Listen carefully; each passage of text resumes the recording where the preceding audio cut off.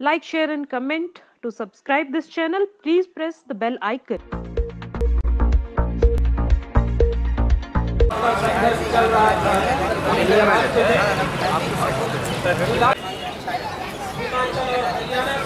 भारतीय संविदा कर्मचारी महासंघ अखिल भारतीय संविदा कर्मचारी महासंघ आवाज़ दो आवाज़ दो आवाज़ दो कर्मचारी एकता सर क्या नाम है आपका? योगेश्वर शर्मा। योगेश्वर शर्मा जी जैसे हम देख रहे हैं अखिल भारतीय संविधान कर्मचारी महासंघ और यहाँ पे आपका जो प्रदर्शन चल रहा है किन मांगों को लेके चल रहा है? क्या क्या आप लोगों की मांगे हैं? देखिए अखिल भारतीय संविदा कर्मचारी महासंघ की मुख्य चार मांगे हैं। जी। हिंदुस्तान के समस्त संविदा कर्मचारियों को नियमित करने किया जाए। जी। आउटसोर्सिंग एनजीओ के माध्यम से लगाए गए कर्मचारियों को सीधा विभाग से किया जाए और जब तक समान कार्य नियुक्ति रेगुलर नियुक्ति की प्रक्रिया पूरी हो, तब तक समान कार्य का समान वेतन दिया जाए। मैं देख रहा हूँ कि उत्तर प्रदेश वाणिज्य कर विभाग के जो संविदा कर्मचारी हैं, उनको चार हज़ार या बयालीस सौ रुपये दी जाती है। वो भी छः महीने, आठ महीने, दस महीने रोकने के बाद। उसी तरह जो प्रेरक हैं भारत में, प्रेरकों को तीन तीन साल दो दो साल ढाई ढाई साल कई कई क्षेत्रों में ऐसा हो गया है कि उनको मानदेय नहीं दिया जा रहा है। और इस मांग को मैं पूर्व में माननीय प्रधानमंत्री महोदय को पत्र के माध्यम से जानकारी दे चुका हूँ। उसके बावजूद कार्रवाई नहीं हुई। तो महासंघ मजबूर होकर के आज जंतर मंतर पर धरना देने के लिए मजबूर हुआ है। क्या नाम है आपका? स- मैं संजीव कुमार प्रदेश अध्यक्ष अखिल भारतीय संविदा कर्मचारी महासंघ उत्तर प्रदेश। सर जैसे आज हम देख रहे हैं आप दिल्ली के जंतर मंतर पे आए और दो दिवसीय आपका प्रदर्शन यहाँ पे चल रहा है। किन मांगों को लेके ये प्रदर्शन आप लोग करें सबसे पहली मांग है हमारी कि संविदा कर्मचारियों को नियमितीकरण किया जाए। दूसरी मांग ये है कि जो आउटसोर्सिंग या जो संविदा कर्मचारी निकाले गए हैं निष्कासित संविदा कर्मचारी उनको पुनर्बहाली की जाए।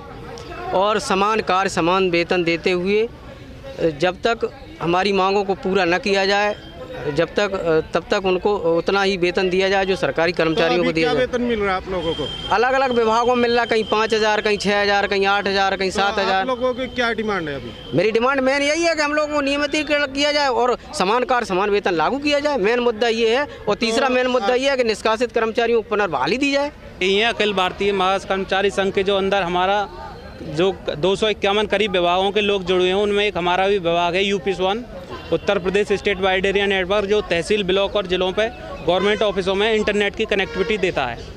जो हम लोग पिछले एक हज़ार लोग दस साल से काम कर रहे थे और जिनको 2017 में बिना किसी नोटिस के गवर्नमेंट द्वारा निकाल दिया गया, उत्तर प्रदेश सरकार द्वारा, जबकि मोदी जी और योगी जी का हमेशा मंच से यही कहना रहा है कि केंद्र में और राज्य में एक ही सरकार रहेगी तो योजनाओं का लागू करने में और लोगों को सुविधा देने में आसानी रहती है।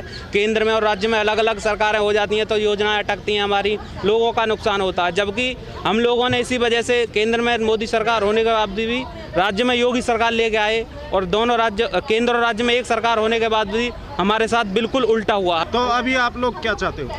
चाहते यही है सभी लोगों को बहाल किया जाए। अभी टेंडर के नाम पर मिले थे हम दिनेश तो शर्मा जी और उनसे। के जंतर मंतर पर जो प्रदर्शन चल रहा है यहाँ से आपकी आवाज़ सुनी जाएगी? जब देश के मुखिया प्रधानमंत्री जी पूरे 125 करोड़ देशवासियों के लिए खुद को कहते हैं उनको उनका आप सेवक बताते हैं खुद को तो हम हम भी 125 करोड़ लोगों में से आते हैं और हमारी मांग भी यहाँ से ज़रूर पहुँचेगी उन तक। नाम है आपका? मेरा नाम कमल भट्टाचार्य जी है। मैं आसाम से हूँ।